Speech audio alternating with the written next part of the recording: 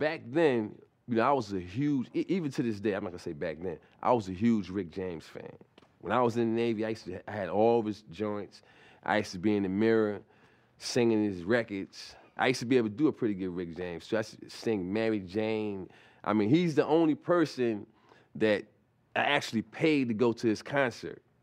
You know what I'm saying? Because back then we used to bum rush concerts. You, I don't know if they still do that, but we used to come with like 50 guys and bum rush, just just just rush the door. Maybe they would catch two or three, but the other 30 or the other 30 something guys would get in, and I was always one. We would get in. You know what I mean? I mean the Nassau Coliseum. I remember one time the Nassau Coliseum has these giant uh, plate glass windows going all the way around it. I remember this big buff guy named Sabu picked up a garbage can, just broke one of those shits, and n- niggas ran through the glass before it could even break all the way. You know what I'm saying? Got shredded. You know, to get in see Earth, Wind, and Fire, man, it was off the hook back then. I'll never forget the first night I met him. You know, I, that's the first person that I would say out of all the celebrities that I met that I was I was starstruck. And I, I, I remember we got in a limo, and uh, he started kicking it, and he was mad niggerish, man, which was you know right up my alley. He was buck wild, you know what I'm saying? He he was a regular dude, and uh, he had mad pimping styles, mad pimping skills, man. We went to to the restaurant. We was in a real high class Beverly Hills, upscale, posh, whatever you want to call it. And he came in and was talking to the the whitest, blondest, blue-eyedest, most purest American apple pie eating white woman like this. Come here, bitch. I'm Rick James. Licked the whole side of her face, man. What'd she do? She was with it. He boned her after that, man. He boned her after that. It was no, it was none of the things you would think would happen if a black man does these, walks up to a white woman and licks the whole side of her face and calls her a bitch. All right? What other wild stuff you seen do with women? Oh man, I seen him tell women pull out their titties. You know what I'm saying? I seen him tell women, order women to give another, serve another man, give him a blow. I, I seen him do it all, man. Anything that, uh, that's part of something you would think a pimp would do, and this wasn't a pimp. This is a rock star. It wasn't no pimp. It was just a straight up player, man. He, he wasn't trying to. It was like that's how he was rolling, man. And the women was all with it, man. I got a friend, a good friend, that broke up with his girl because he took it to one of the concerts, and Rick called on stage and threw his tongue down her throat. She was with it. They were supposed to get married, man. You know what I'm saying? He seen his fiance sucking Rick's tongue on stage, Madison Square Garden, man. this shit really took place, you know what I'm saying? Anyway, get back to back then, you know, we started really getting tight because my man was buck wild. He was, you know, and I had, you know, I had started doing things that I wasn't doing before I got out the Navy. Like I was experimenting with the coke and, and, and drinking a little bit more, smoking weed. The whole Hollywood scene, I was, I was drawn into all of that, you know. And uh, my brother didn't do any of this shit, so it was whatever was available for Eddie Murphy on the dark side. I got all of it because he didn't want any of it. I got all. It was it was millions of chicks lined up that had a chipped toenail or you know something was wrong with them. That's all it took with him, chipped toenail. I don't care how fine she was, man. Toenails chipped. You don't want her? Fine. That I was having them. You know what I'm saying? It was all kind of cats wanting to hang out with kilos of blow. He didn't want to do blow. Oh, you want to hang out with them? Fine. It was Jamaicans with bales of weed like this. Man, I give you all you want for free. No, just hang out with me, Eddie. He wasn't with it. You don't want the weed? Fine. I was there for all that shit, man. And Rick James was the, the embodiment of all of that by himself. He had the weed, he had the chicks, he had the drink, he had the location. He's the first person who I went to his house. He had a pool in his living room. All right? It wasn't no separate, it was in his living room, it was a gigantic pool with plants all around it. I bugged out, man, from that whole shit. You know what I'm saying? I'm hanging out. We go up to his house for the weekend and got snowed in. And he had, his house was like, it was one big mansion, then it had uh, connecting joints to it. You know what I'm saying? And, and he had, and each one of the houses was filled up with women. You know, the Mary Jane girls and this one, Val Young and the other one. You know what I'm saying? Then the, the groupies in the next one, and, and, some more groupies in this one over here.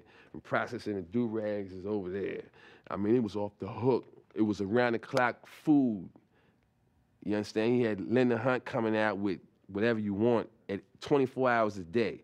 I had never been exposed to nothing like that. And uh, that was kind of like my first uh, inside look at my man's whole behavior. And he, he had this thing with me where he used to always like fuck with me, man. I don't I don't know what what started it, but he would fuck with me. Like we went up to the house and uh, we snowed in, and he took it upon himself. I never forget it to get on the loudspeaker throughout the whole complex, compound and say, if anybody gives Charlie Murphy some pussy, they fired. I, I don't know what made him do that. You know, I don't even know if there was a discussion with all the chicks, like, you know, I'm getting them first or whatever. But he, I remember he did that. He had the security monitor me the whole time I was there. I thought that was weird because everybody else was doing their thing. But he did, for some reason, he didn't want me to have any fun. After that, we kept hanging out. You know, whenever he was in town, we would hang out or whatever. We'd run into each other in L.A. And then, you know, uh, he and I, because of the, you know, the drug thing, we had like a, it was a separate relationship outside the one that we all had when Eddie was there, because Eddie didn't get high. He used to wake up in the morning and say, why y'all motherfuckers can't, why is everybody so tired? Because we didn't go to sleep yet. And it'd be time to go to work. We would be up all night.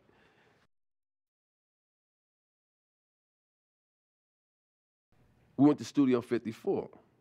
And back then, Studio 50, 54, even to this day, I'll say, Studio 54 was the ultimate uh, club, the ultimate. There has never been and never will be nothing that goes beyond that spot. That spot had, you walk in, they had people buck naked with body paint on for their outfit. You know what I'm saying? Now you be talking to a chick for an hour, and then you realize she's buck naked. You know what I'm saying? You think that she got a dress on that was tight, and you start seeing the hair on the crotch. You, this motherfucker's buck naked. You know what I'm saying? And then, you know, everything was going on up in there, up in the balcony. Niggas was doing their thing in the balcony, whatever they want, have sex, get high, you then come back downstairs, start dancing, and go to the bar, start drinking, and they had food in there. It was like come in and do whatever you want and stay till the, the sun came up spot. So all of the, the who's who in show business and then in the business world, they was in there. They was buck wild in it. So he handed me the blunt. We lit it up, started smoking it. I guess that's the peace offering or whatever. You know, we smoking the blunt. And then uh, my man just said, yo, do Charlie Murphy. It's like 10, at least 10 women. It was, it was, it was a lot of women on the bed, man. I mean, blonde hair, brunette, afro, cornbread, it was all there. That's a smorgasbord. That's whatever you want, man. That's whatever you like. It was even an Oriental over there. Now, how many black men you know can say they born Oriental? Holla. You know what I'm saying? I'm saying that's that's rare, man. That's rare in America. That's rare in America. I can, you know, I can proudly say I'm a member of that class, man. You know what I'm saying? That, you know, I went there. And it was, you know, all because of Rick James. That's what turned me on to that. You know what I'm saying? I ain't ashamed to admit it. You know what I'm saying? It was a good time, a good thing. Like I told you, I whip Rick's ass a minimum of 10 times. That's a minimum. That's a bare minimum. It's been more than that. But I only, I'm only going to tell you a couple of the stories because, you know, Rick is so wild and has went so far off the, the meter. It's shit that I can't even tell, tell, tell you on TV. I mean, you know, for the sake of our friendship, you know what I'm saying? I, am not even going to bring it up. But trust me, he's went there. He, he, he is went where it's like, yo, Rick, man, what the fuck is wrong with you, man? You don't take this shit too far. And his response is like this. There's no such place. Darkness. Let's go to the abyss, nigga. I'm not with it, man. I don't want to go to the abyss, man. You know what I'm saying? Rick wants to go to the abyss. In fact, he dwells in the abyss. Rick James dwells in the abyss. Okay? And he and he wants company sometimes, you know, and, and, for some reason he likes to reach out for me whenever I'm around. When he when he wants to go there, he will reach out for me to try to take take me to the abyss with him. And I'm not with it, man. I'm not with it. And that's when we end up, you know, tussling or whatever. You know what I'm saying?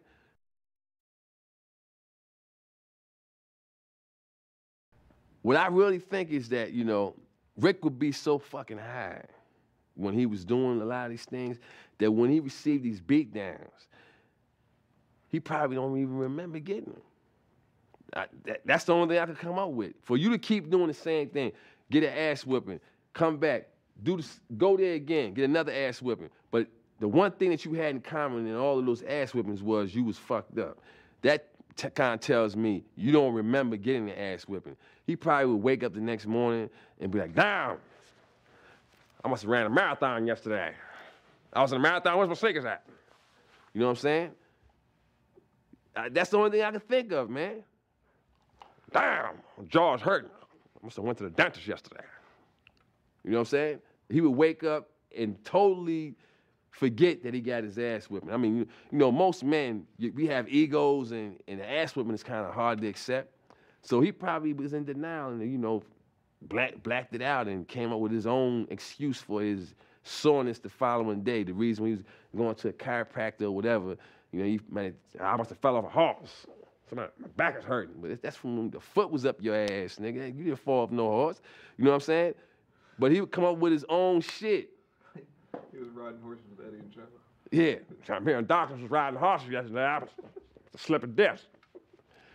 He forgot when darkness was like this. Fire! You know what I'm saying?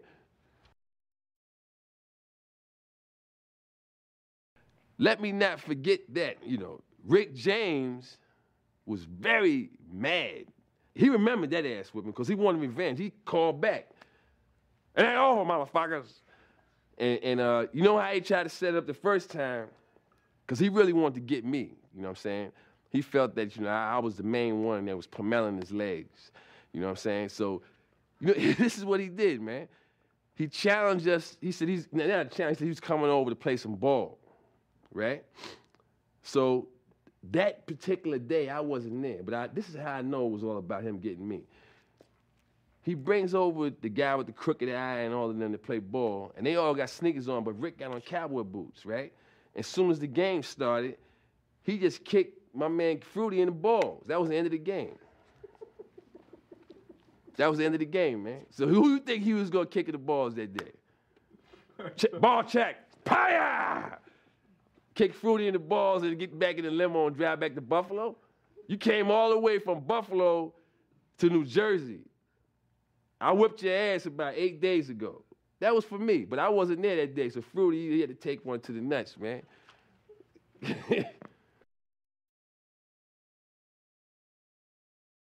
and you know what? I know he probably went home and felt that he, you know, he was victorious that day.